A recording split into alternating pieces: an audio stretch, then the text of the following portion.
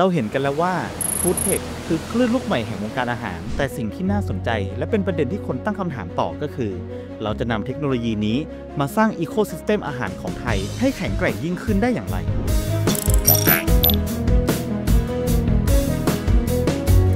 In Thailand, the difference between Thailand and other cuisine is that we have a very strong competitive advantage in Thai culture, in Thai food, or what we often refer to as the soft power of Thailand. So what I believe can be an in- interesting opportunity for Thai food tech is to blend the so-called soft power or cultural export of food and the hard science of food tech together.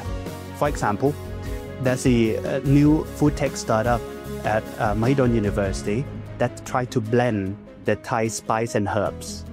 We look at the combination of different types of spice and herbs into things like tom yum or all the curries that we know. And we use the new technology, new science to extract and try to fuse that into the new value proposition of products. Things like nutraceuticals, functional food, personalized food, regenerative food, all these new trends came from the bigger mega trend of health and wellness. However, we cannot treat these people as just one group of people because I often see when food tech or other products try to look at this segment, they often lump these people into one segment of health conscious consumers. But this trend has been going on for years, and we have to look deeper into these segments. เมื่อโจทย์ของอาหารแห่งอนาคต ไม่ได้มีแค่เรื่องรสชาติหรือสุขภาพ แต่คือความรับผิดชอบต่อโลกและผู้บริโภคสองด่านหินที่เราต้องก้าวข้ามให้ได้ คือการจัดการเวสในระบบ และมาตรฐานเซฟตี้ของอาหาร ซึ่งเทคโนโลยีคือคำตอบของเรื่องนี้ Thailand is an agri-food powerhouse, which means we generate a lot of waste from agricultural residues in the fields to byproducts from our processing industries. From a scientific field, the main challenge isn't a lack of ideas, but making the solutions practical and economically viable. This is where the major research trends come in. The focus has shifted from simply waste disposal to waste valorization, turning these materials into valuable products. We're moving towards a biorefinery concept. We extract value from every single component of the waste. For instance, at our Faculty of Science, we have several exciting projects. In our biotechnology department, researchers like Natawiniam Siri are engineering microbes to convert food industry waste into biodegradable bioplastics. This is a perfect example of a circular economy solution.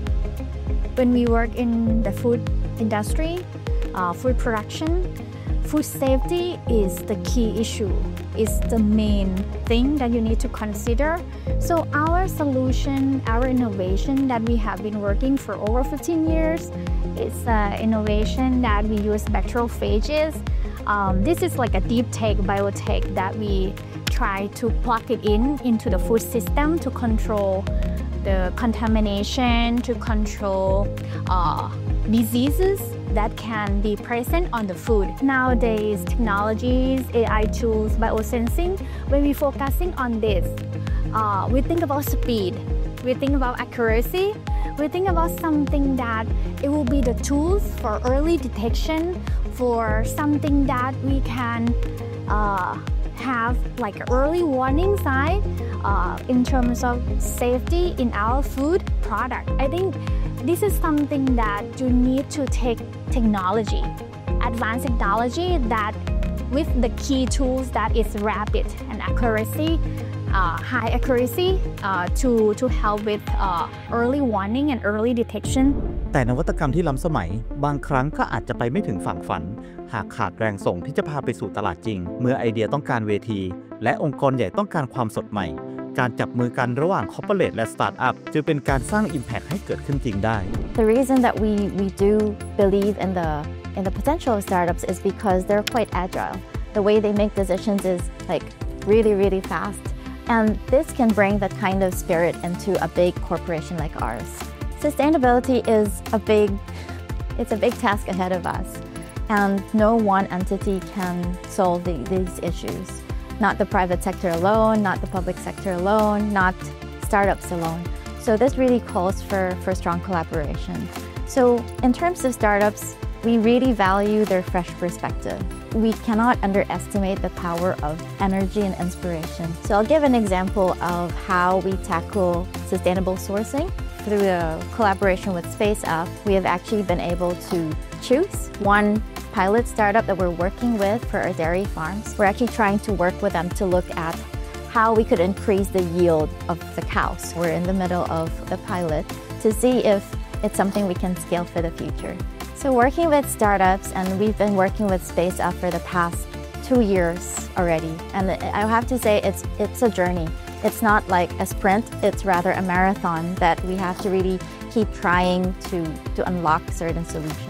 Throughout this journey, we've learned that the challenges remain to be cost. The second one is scale. Um, much as we want to, to work with startups, it's marrying this scale of a big corporation and the agility of a small startup to find the sweet spot in between that continues to be a challenge.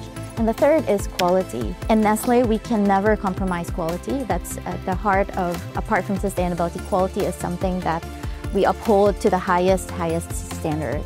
For example, circularity in packaging. I would like to mention, for example, Milo. So Milo is right now with um, about 400 plus schools within hand in hand with the BMA.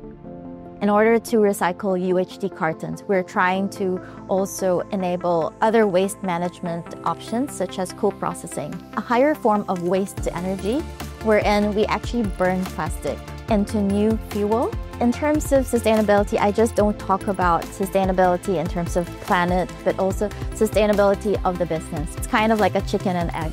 So that being said, um, it is imperative that we, we find um, align goals with startups that really point out to uh, commercial opportunities that also tend to address our our sustainability goals ท่ามกลางเทรนด์โลกที่เปลี่ยนไว ทิศทางของฟุตเทคไทยอาจไม่ใช่การวิ่งไล่ตามกระแสใหม่ๆเพียงอย่างเดียว แต่คือการกลับหันมามองต้นทุนเดิมที่เรามี แล้วใช้นวัตกรรมต่อยอดอย่างถูกจุดคำถามสำคัญคือ เราควรโฟกัสที่ตรงไหน เพื่อให้เกิดมูลค่าทางเศรษฐกิจได้จริง So what is the path forward for Thailand? It's about integration and focus. The path is to integrate the bench to pilot to market model. We must focus on national efforts on high potential value chains where we have an abundance of raw materials like cassava, rice residues, and fruit peels. The point is that instead of just chasing the new trends, the so called new money, the money that doesn't exist yet, what I want to advocate for is for technologists and innovators to look at the where the money is, the actual sectors that we have. Because these are the people from agriculture to food processing, harvesting, and food service. They need better technologies too. They need technologies to improve the efficiency, to improve productivity. So, apart from the focus area of circularity, the other one is regenerative agriculture. So, sustainability is kind of, you would say, neutral, but um, and what we're trying to avoid is degenerative. So, regenerative agriculture is going beyond sustainability, and you want it to be like going positive. We're restoring the soil, we're restoring the farms. Startup like deep tech startup, We're coming uh, out as like showing off what we have and that is really wow. But how to actually be have it more applicable to our customers. This is something that we really need to work hard. It's like customer oriented. So um, that being said it's a it's a long journey ahead of us because if people don't change their their behavior we're not gonna we're not gonna reach far right? Our, our, our words to, to the whole Thai public is really that every little act matters.